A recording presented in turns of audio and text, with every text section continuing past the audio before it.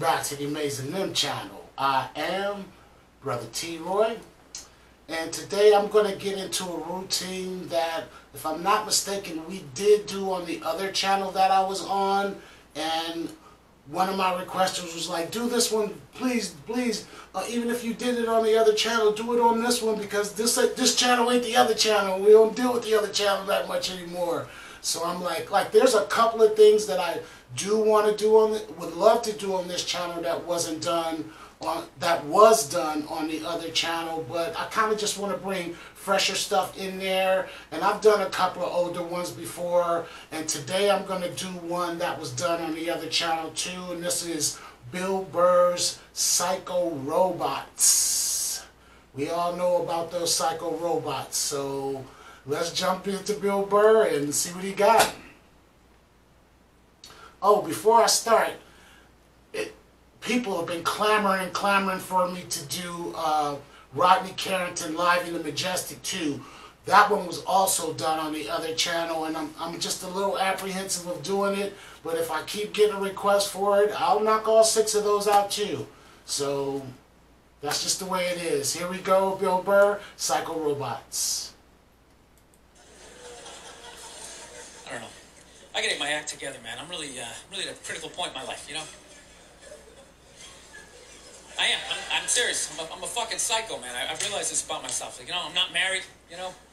And I'm really getting to that critical age where, you know, pretty soon I'm just, you know, I gotta pick a street. Either I'm gonna get married, you know, or I'm just gonna be in that creepy old guys hanging out in a bar, you know, red chest hair hanging out.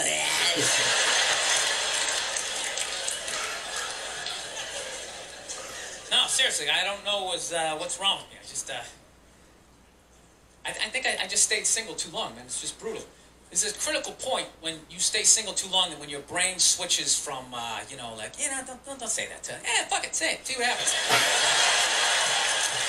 Dude, and once you cross that line, this the, the, the evil that just, just opens up, it's just, you know. I don't know. You know what? I just find women that just like. Uh, I think they're great. I don't want this to come off like I don't want to come off here like I'm some woman hater because you know, I know I'm a psycho, but it's just like I don't know. I just find them to be like relentless. Just every day they, they just they just gotta come at you. They just wake up. They have an agenda, and so they're like these psycho robots that never run out of batteries, and every day they just keep fucking. Right? You gotta deal with that every single day. Hey, honey, and you literally, you know. It's, like waves hitting the beach, you know? Every day, just eroding a little more your life away, you know?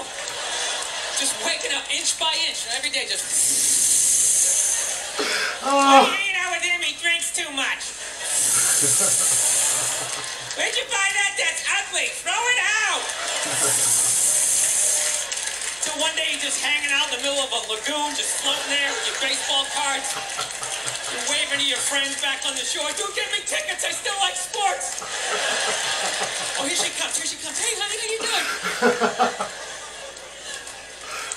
no, I'm trying to. I'm trying to learn how to how to pick my battles with my girl. You know, it's what I am. You know, I used to argue all the time. I'm just trying to pick the battles. Some days they, they come at you. You, you just gotta let them go. Just let them go and follow them to whatever dumb shit they want to do. Like, hey, let's go get a picnic. We'll have a picnic. You bring the picnic. And you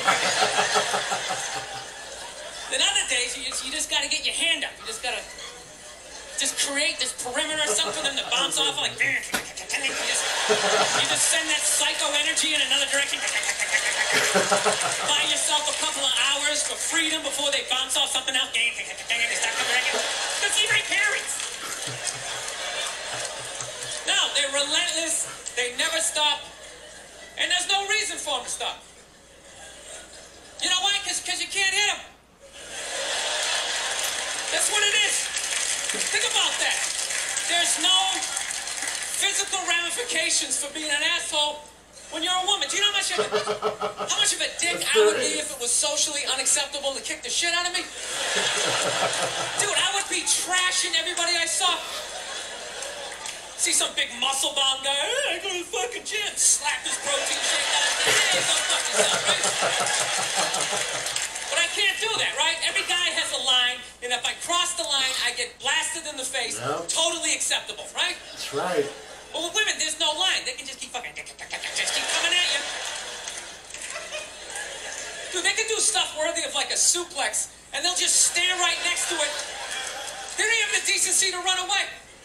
Like light your clothes on fire. They're like, ta-da! I did that shit. oh yeah. And I was so proud of my work, I stuck around to see your reaction.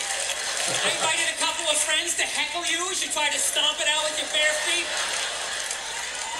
Oh yeah, they'll like key your car, sign their name. Susan did this shit. You're sitting like, now can I at least put her in a headlock, give her a couple of. She just wanted attention. Women that you, you never get to feel that. You guys should should do it to each other, you know, just every once in a while. Just haul off and just blast one of your friends in the face, you know. It's good for you. No, I know, yeah, I know. It hurts, you know, you can't feel your nose, your ears are ringing, but I'm telling you, man, it, it clears your head. And it causes you to, like, evaluate yourself. I swear to God, anytime I ever got punched in the face, I was always pissed. But at some point during the drive home, I'd always be thinking, like, you know, it's kind of being a dick back there, you know? when I really think about it, I probably shouldn't have said that last shit, you know? And you, you, you'd, like, make that adjustment.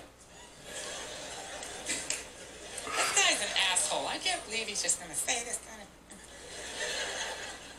Actually, my girl punched me in the head on Valentine's Day a few years ago. Yeah, you want to hear this story? This is a great one. This is how much of a dick I am that I can actually tell a girl I love her, give her a card, and somehow at the end of the night, she still blasted me in the head. You know? I can't even remember what happened. All I know is she said some shit, then I said some stuff, then she said some more stuff, and I said, fuck it, I'm going for big air. I said the last shit, and next thing you know, she just came flying at me, right? Fist balled up. Okay, and at first she was just hitting me all in here, you know, which is acceptable, right? It's a holiday, let's fucking keep it nice, you know? let's keep it nice, right? And I gotta admit, I was blocking most of it at first, right? I was doing the rope a dope. I was leaning back, I was pulling her head in, I was leaning on her, talking shit, trying to tire her out, right? And then all of a sudden, she just went up top, fucking wham! It hit me right in the side of the head. You know what hurt the most was not that she hit me, was that after she hit me, she didn't have the decency to hop back, like like maybe something was gonna happen. She knew nothing was gonna happen. It's against the rules. So not only did she get to blast me in the head, she then got to do like this UFC talking shit thing in my face, pointing. Oh, it was brutal. Then she started like breaking up some stuff. You know, of course it was all my stuff, and I'm just standing there. Okay, don't look her in the eye. Stand as still as you can. Let her calm down. Oh, that's great. That's something mine from high school. That meant a lot to me. evidently to you. It's funny. If I was doing that shit, I'd have a cop with his knee in my back. But evidently you have a vagina, so that makes it Yep, okay. I just yep. have to stand here Yep. as you break all my shit. That's so true. That's so true.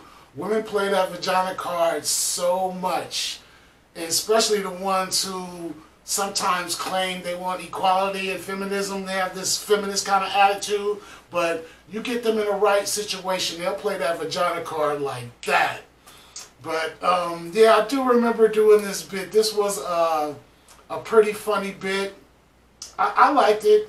Um, it's not my usual Bill Burr thing, so I don't. I, I'm not sure, but I like this one pretty good. Pretty good. He made some um, pretty good points about the whole thing that they always trying to get you to go to this little thing or that little thing that you're not that really interested in. And I'm quite sure you drag her to stuff that she's probably not that interested in either. So it's a 50-50 thing and everything, but you know, that's that's just part of being in a relationship. But if a female, I, I don't condone hitting anyone, but if a female hits you, it's best to just back up and get the heck on out of there because she know you're not gonna hit her back. So she's just crying for attention right there, you know. Basically is what I think it is. Because if she really wanted to be adult about it, y'all would sit down and discuss the whole thing. But um, the one or two times when a female actually put their hands on me before, I gave them a look like, bitch, you know I'll fuck you up, but of course I'm not gonna do it. But I gave them the look like that'll be the last time you do that. or I'm not gonna put myself in a position to where you ever get a chance to do that again. And because I do that the, the same way with guys. If there's certain guys I know I don't I don't mess with that much, I always keep them a little bit. I never stand too close to them. I always keep about six inches arm length away, just in case something pop off. I can lean into a nice good left hook or elbow to the nose or whatever. Uh, I don't know why I'm talking so violent right now. but that's basically what I'm saying is the best way to deal with females who like to try to put their hands on men is to just walk away. But actually, you gotta let them know that you're not gonna let that go down like that.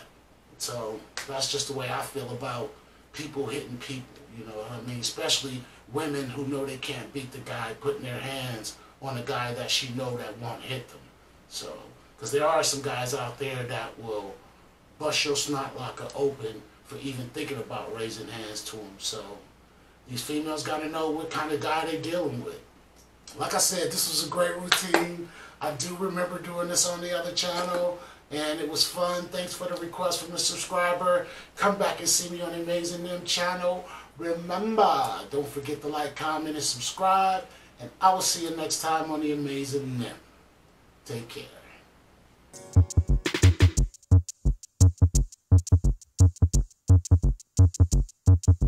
You were put here to protect us, but who protects us from you?